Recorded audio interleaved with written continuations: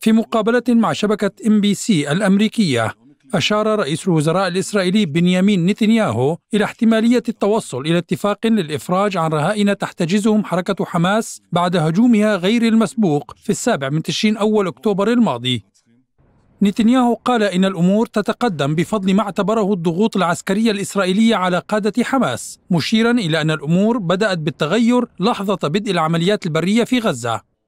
وفي معرض رده على سؤال بشأن قضية المستشفيات في غزة التي باتت في مرمى النيران مع احتدام القتال لفت رئيس الوزراء الإسرائيلي إلى أنه ليس هناك ما يمنع من إخراج المرضى عبر ممرات آمنة أنشئت من أجل ذلك مشيرا في الوقت نفسه إلى أنه جرى إجلاء نحو 100 مريض من مستشفى الشفاء. وتقول إسرائيل إن نحو 240 شخصا محتجزون في قطاع غزة بعد هجوم حماس بينهم ما لا يقل عن 30 قاصرا.